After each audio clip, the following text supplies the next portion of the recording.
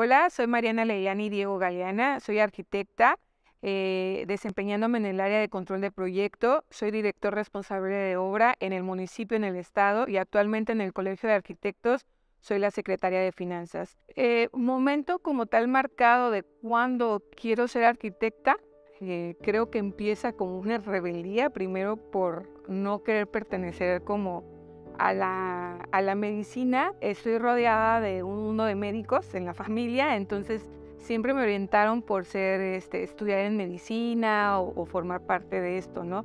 Y al último me doy cuenta que tengo pánico escénico a la sangre y posterior a ello digo, no, esto no es lo mío, lo que es la medicina. Y me empiezan a gustar siempre las cosas eh, como matemáticas, el diseño, el ver que, que tú puedes eh, contrazar líneas llevar eso a la vida real y desarrollarlo en edificios, este, en viviendas y sobre todo cumplir con sueños que son para grandes familias. Yo estudié en la Universidad Loyola del Pacífico, eh, me fui de intercambio, no tenía las posibilidades, eh, yo desde un principio quise estudiar fuera, entonces logro que logro tener un intercambio al ITESO de Guadalajara. Inicialmente mis papás no me querían apoyar, después no les quedó de otra porque ya estaba inscrita. Me quedo allá un año en el ITESO y posterior regreso, pero regreso con mayores inquietudes, cosas que había descubierto. Cuando te apasiona algo, realmente tú buscas los contactos, buscas cómo, cómo conectar este, con esa parte. Estaba trabajando en Mundo Imperial y cuando me doy cuenta que ya son más de cinco años, digo, quiero seguir aquí o quiero seguir creciendo y emprendiendo. Entonces renuncio sin tener nada seguro.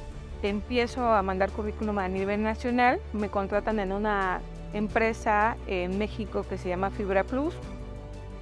Y ahí es donde también me doy cuenta eh, que a pesar de que no puedo, eh, no me pude ir en su momento cuando estaba estudiando, este, que todavía tenía oportunidad de seguir laborando fuera. Inicialmente para los hombres es muy complicado darte la confianza porque aparte de que soy mujer, la juventud dicen pues no está preparada, no puede lidiar con todo este mundo de gente y más hombres y sobre todo que te den la oportunidad de que tú conoces y que sabes este, de lo que estás realizando eh, es un poco complicado, sin embargo no imposible.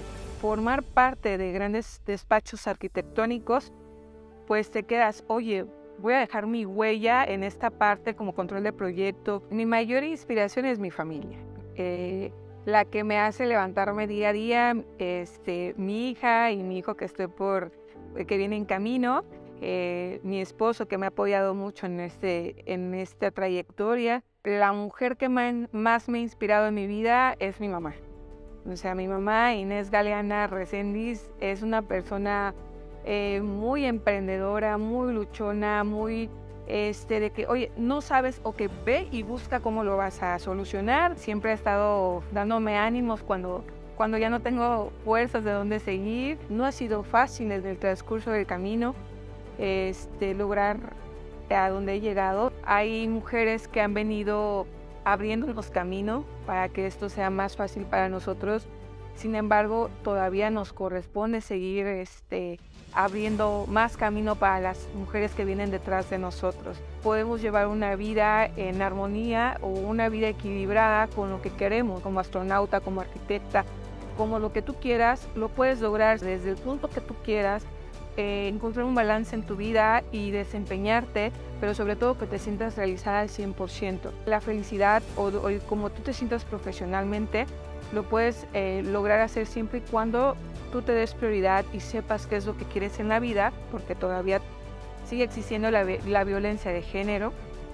Y la mejor manera de cómo, de cómo atacar esa parte es preparándonos y sabernos dirigir de manera correcta y saber que no estamos solas. Aunque no hay un, camino trazado, eh, si tú quieres emprender algo nuevo, el ser la primera astronauta que ya hay, el ser este, aunque no exista como tal, tú lo puedes lograr. Lo puedes lograr primero con las ganas, después con la preparación y sobre todo con la perseverancia de seguir adelante, siempre y cuando te lo propongas y te lo traces y lo tengas bien fijo en tu mente. Mujeres inspirando mujeres. Día Internacional de la Mujer. Radio y Televisión de Guerrero.